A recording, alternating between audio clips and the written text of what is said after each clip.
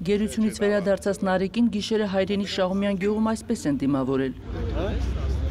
Իսկ առավոտյան Նարեկն արդեն բակի ձյունն էր մաքրում, ճանապարհ բացում աչքալուսանքի եկող հարևան բարեկամների համար։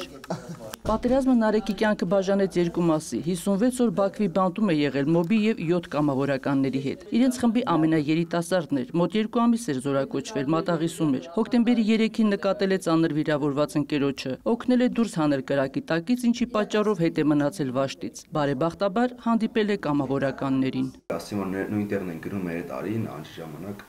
Մարտակերտ էին գնում, էլի։ Իրանց հետ այնց իջանք, գնացինք իջանք մեծ բունկեր կար հենց մատաղիսում, յուղում։ Իջանք այդտեղ, որ մի 20 րոպե հանգստանանք, որ կարողանանք նորից շարունակենք ճանապարհը, Փոքրինչ հանգստանալուց հետո, երբ դուրս են եկել, որ առաջ շարժվեն, մոլորվել են։ Ստիպված նորից ետ են գնացել բունկեր։ Ու միջև շարժման ուղղությունը գտնելը փորձեր են արել, թշնամին է գտել իրենց։ Մոտ 20 օր թեժ կռիվ են տվել։ Հասկանալով, որ եւս մի քանի օր պաշտպանվելուց հետո մեր տղաների զինամթերքը կվերջանա, ադրբեջանական կողմը բունկերն անընդհատ կրակի տակ է պահել։ Հոկտեմբերի 22-ին արդեն նորից իրանց զորք եկավ, նորից մտավ բունկեր, նորից կռվեցինք բայց արդեն չունենք էլի այդ զինամթերքը արդեն վերջացավ այդպես։ Այդտեղից մեզ տարան միանգամից Բաքու։ Մի բա զգում էի, որ ասենք իմ կյանքը վերջացավ։ Մի բա։ Մեկ էլ զգում էի, որ ասենք հանգարտ իմ երեխեն գաբաու մտենա։ Տղայի գերեվարության մասին ծնողներն իմացել են համացանցից, բազմաթիվ դռներ են թակել, դիմել են իրավապաշտպաններին, Կարմիր խաչին։ Արտակ Զենյալյանը զբաղվել է մեր գործերով, դիմել է Եվրոդատարան, դիմել է Կարմիր խաչ հենց այդ օրը։ Ու արդեն նոյեմբերի 13-ին կա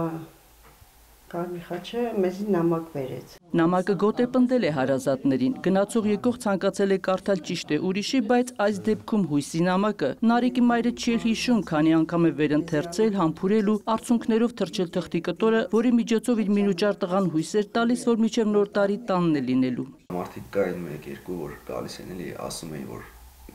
հանգիստ տեղի մի քանի ամսից դումս գնալու։ Փայլ է եկել երեսներիս հետ, կյանք ենք եկել, բա երեխես ողջ առողջ, ջան։ Գտել եմ երեխուս։ Գերեվարության մանրամասների մասին Նարեկը լռում է, բայց ասում է վերաիմաստավորել է կյանքը, հասկացել է, թե ինչ է հայրենիքի կարոտն ու մի պահ մտածել, բա որ այդ կարոտը երկարի։ Որ իրանք խայլում են, չէ, ադրբեջաներեն են խոսում։ Երազում ենք, որ գոնե հայերեն խոսալով գնանք, մեր հայրենիքում լինենք, էլի թեկուզ այդ ազատությունից զրկված, բայց մեր հայրենիքում լինենք, հայ հայ հայ է կարոտում։ Ձերքին բնածին մեծ խալ ունի, ադրբեջանցիներին նույնիսկ դա է հետաքրքրել։ Սիսին հետը что? Խալը չգիտի ռուսերեն ոնց է, դες ֆրանսին ինգերս ասում խալը ռուսերեն ոնց է։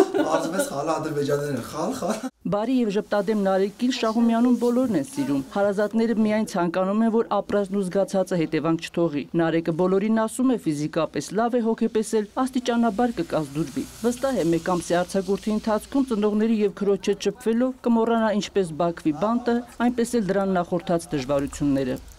Հայկուշ Ասլանյան, Ռոմիկ Ռոմանոսյան, Լուրեժ։